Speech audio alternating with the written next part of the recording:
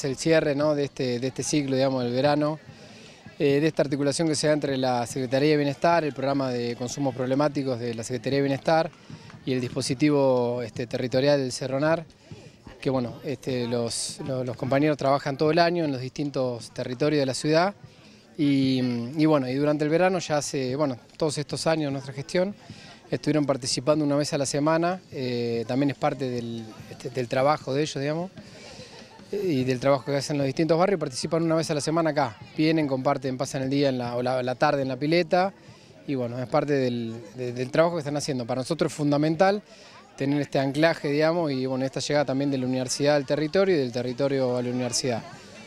Hoy, sin ir más lejos, eh, al margen de, la actividad que realiza el Cerronar, bueno, estamos charlando acá, la posibilidad de que por ahí en el futuro algunos de estos, de estos jóvenes por ahí puedan este, llegar a la universidad, así que para nosotros sería algo hermoso. Y bueno, es parte del, trabajo que estuvieron realizando, nosotros estuvimos acompañando simplemente y bueno, hoy al ser el cierre venimos a compartir un, rato acá.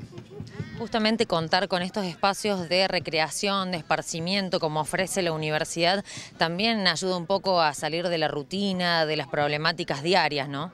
Sí, sí, seguro. Bueno, eso es el rol importante que cumplen acá los profesionales del Ceronar. Eh, varios de ellos son docentes, no docentes o estudiantes. También me también hay estudiantes de la universidad. Este, o sea, los cuatro claustros están participando en la universidad en esta, también en esta iniciativa y bueno, para darle también un horizonte a ellos.